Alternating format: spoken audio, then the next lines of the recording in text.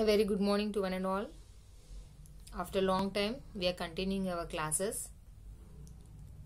So I think children I might have forgot about the classes. So please parents help your children for a recall session.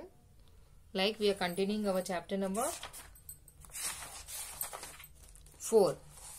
So help your children to read the textbook once and twice so that they can revise and if it is possible please just follow the previous classes where I have stopped. Like we are continuing fourth fourth chapter uh, feet and claws of birds. So before the chapter what we have learned in the chapter that just you help your children so that they can remind what we have learned.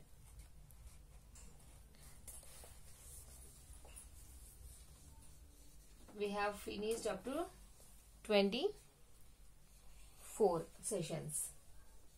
Now 25th session. We are continuing our session number 25.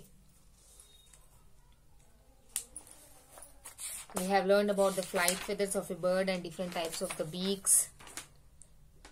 Down feather, body feather, flight feathers.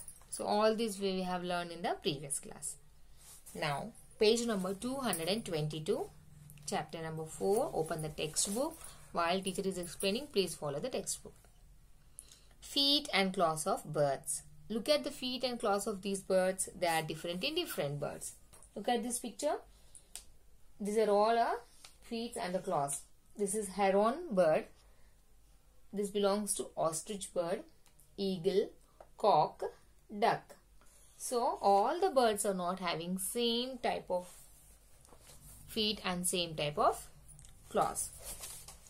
Now we human beings all are having same type of hands, no? We are having the fingers, we are having the elbow and we are having the same type of foot.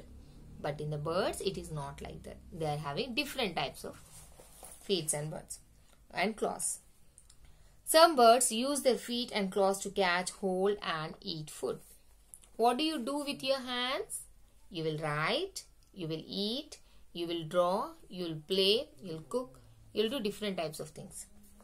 But whereas the birds, what they'll do with the help of the feet and the claws, they'll catch, they'll hold and eat the food. Some birds use them to walk. And what happens? Some birds will use them to walk and hop, swim, climb, perch. Some birds also use them to protect themselves. So each bird is using their feet and claws in different ways. What we do with our hands, everyone will eat with the hands, not with the legs, right? So all the birds are not using the claws to catch or hold. Some they are using to walk and some they are using to swim, some they are using to protect themselves. Let us learn how some birds use the feet and claws. Perching birds like crows and beaks, sparrows use their toes to hold on to the branch of a tree family. See here, sparrow. You can look. Uh, you can look uh, around your houses. They are having the feet and these claws. These are called as claws, and this is called as a feet. So what is that they are doing? These are called as perching birds. They are holding the branch to stand on it. Okay. Next.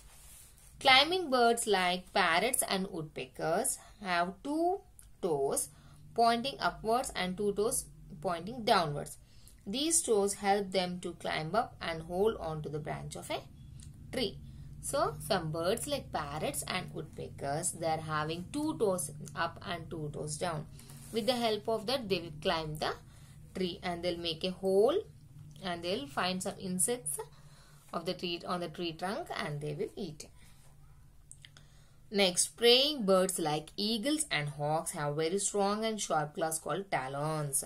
Already we have learned now what is talon in the meaning. Yes. So, the birds like eagles and hawks. What is that they are having? Very strong claws and they are called as the talons. They are also very sharp. They help them to catch and hold their prey firmly. Prey in the sense the food that they go. They'll kill some other birds or some other small animals, no? For the food, they are called as prey. They will kill them. For killing and for eating, the talons are very useful for the eagles. Next, scratching birds like hens have sharp and hard claws which help them to scratch or dig the ground to eat insects and seeds in it. Like hens. Hens are called as scratching birds. Hens, కోళ్ళు అయితే మీ ఇంటి పక్కన చాలా చూస్తారు కదా what they do they will scratch the ground no With the help of the claws. They'll dig it and they'll search the insects like worms and they will eat grains also. Water birds like ducks and geese have webbed feet which help them to paddle and push the water while swimming. So these birds, swan, duck, hen are having webbed feet. So what will they do? It will help them to swim in the water. Bird watching is an interesting hobby. So some people are having an hobby. Hobby in the sense everyone is having their own hobby no? Something which you like most and you'll do frequently. Like um, you're in the class 3 so what uh, what is your hobby? Your hobby is to play. Or some children are having hobby to draw. And some are having a hobby of singing. Some are having hobby of uh, playing different types of games. So like that some people are having a hobby of watching the birds.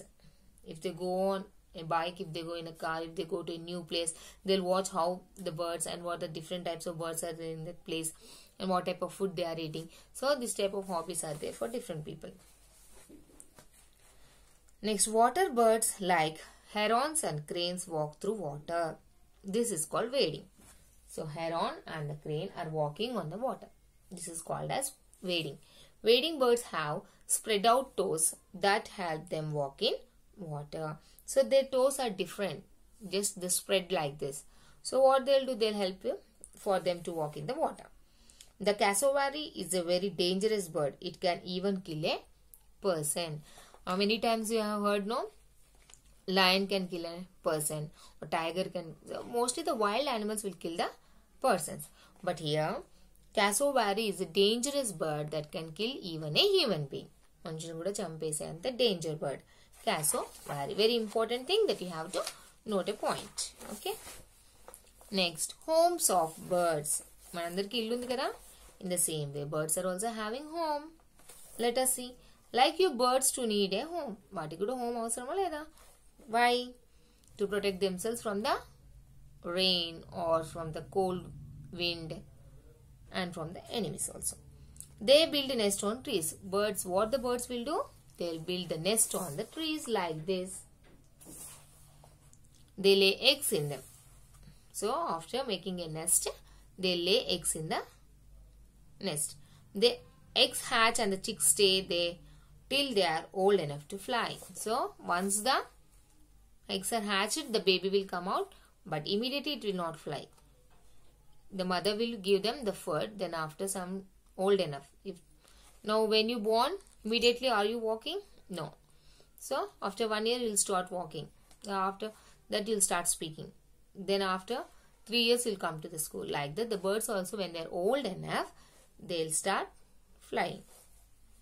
The nest keep birds safe from bad weather and enemies. What does that how does the nest help them they'll protect them from the bad weather that is maybe strong wind or the hot air or anything and from the enemies also have you seen a bird's nest ఎప్పుడైనా చూసారా మీరు birds NEFT you can find one on a tree on the terrace are ventilator of a house are even on a ceiling fan sometimes you may see these nest on the tree or on your terrace me building పైన or sometimes on the fan also let us now have a look at the nest of some birds and all the nests are not same for the birds each bird is having a different types of designs are all our homes are same మన అన్ని ఇల్లుకి ఇలాగ ఉన్నాయా no in the same way all the nests are not same let us see the tailor bird uses its beak to seal leaves together with thread and wool to make its nest here this is the tailor bird it is making nest in the with the help of the leaves and with the help of the leaves all leaves it will put together and with the help of the thread and the wool it will make a nest Next, the weaver bird uses its beak to weave leaves, grass, and twigs together make a beautiful nest. The bird enters its home through a hole in the nest. So this is the weaver bird. Weaver weaving means alarm. So it will, with the help of the leaves and the grass and the twigs, వేర్లు ఆకులు గడ్డి ఇలాంటి వాటితో NEFT prepare చేస్తుంది Weaver bird It will make a small hole to enter into the nest. The woodpecker uses its beak to peck into the tree trunk and make holes in it. The hole is its home. Here it is making a hole in the tree trunk. And this is a home for the woodpecker. Next penguins penguins leave in very cold places చాలా చల్లగా ఉంటుంది penguins ఉండే దగ్గర they collect small some stones and pebbles and make their NEFT they will make the nest with help of the stones and the pebbles. Different kinds of stones you can see near the sea, no? So with all those, they'll make a nest. Next, a nest is a bird's home. What is a bird's home? Nest. So you should never spoil one. మనం ఆడేటప్పుడు ఏం చేస్తాం చూసి next బాగుందని చెప్పి తీసేసాం అనుకోండి you're removing the house of a bird then what other small babies will do they will fall down and they will die no so you should not spoil the nest of a bird. Nor should you disturb the birds or sticks living in a nest. If someone comes to your home and if they'll destroy or if they'll take away something, how do you feel? You feel very bad and sad, no? The same way, if you remove the nest or the baby chicks, then they'll feel very sad and bad. So you should not do like that. Is it clear, children? So by this, we have finished the chapter. Once again, go through the session number uh, 24 and 23 and 25 three sessions once again you watch the video then you'll able to understand the chapter lesson అంతా ఒకసారి వినండి so today what is the homework for you draw these pictures heron ostrich eagle cock duck their feet and the claws you have to draw draw one time these pictures this is the homework for you children thank you